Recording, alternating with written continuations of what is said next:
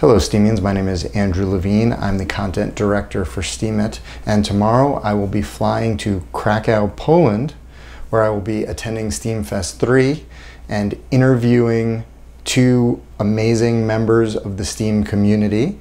Ned Scott on day one, the CEO of Steemit, and P. Matt, technical co-founder of Steem Monsters. That'll be on day two. And so in anticipation of these panels, I just wanted to tell you a little bit about myself and then what we hope to accomplish with these really Q&A slash interview sessions.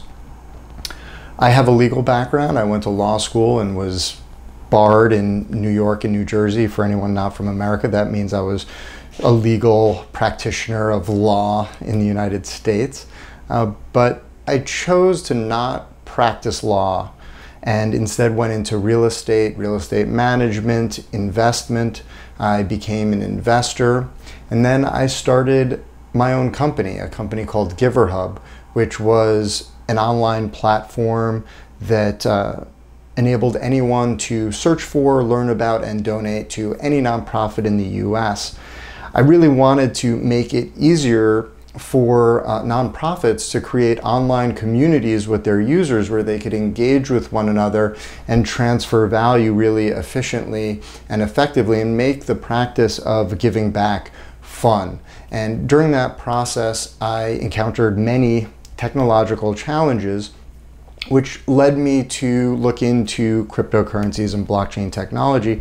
And in fact, we even kind of hacked together a Litecoin clone integration into that site. And this is probably over five years ago now. So that's how I got my introduction into the cryptocurrency and blockchain world.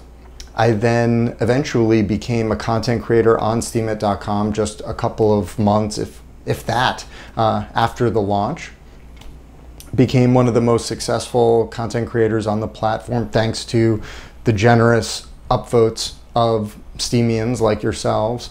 And after about six months or so doing that, I was brought into Steem Steemit Inc as their community liaison, where I would interface with the community and help make sure that their voice was heard within the company.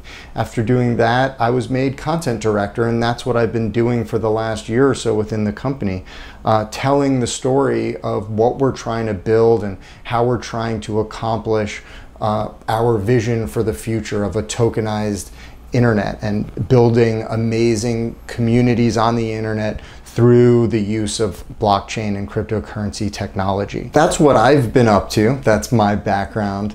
On day one of SteemFest, I will be talking to Ned Scott. We will be answering some questions that the community has provided. We asked for those in, in a Steemit blog post, and we're gonna try to pick the most representative questions and the most insightful questions and, and hear Ned's thoughts on those. We're also gonna try to explore some of the insights that he's gained as an entrepreneur within the blockchain space. Very few people have created real companies like Steemit uh, on top of a blockchain. And so I'd like to pick his brain for anything he's learned from uh, building a company from just a few blockchain developers to now dozens of developers, uh, a communications team, a marketing team. Most of those people will actually be attending SteemFest with me. That's the team that I really work with, and they're great. I can't wait for you all to meet them.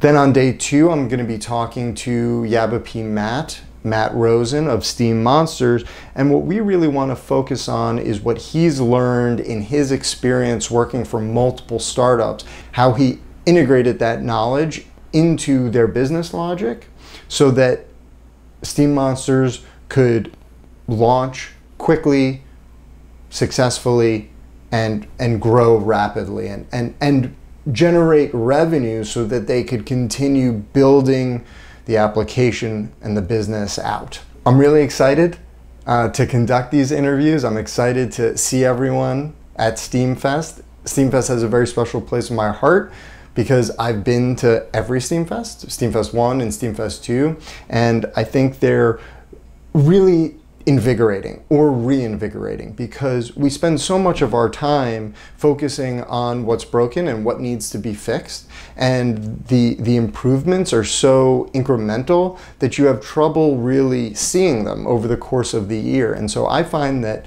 Steem Fests are a great opportunity to look back at everything we've accomplished and really appreciating how much we've been able to do in so little time, how much we've already disrupted the attention economy and, and social media on the internet.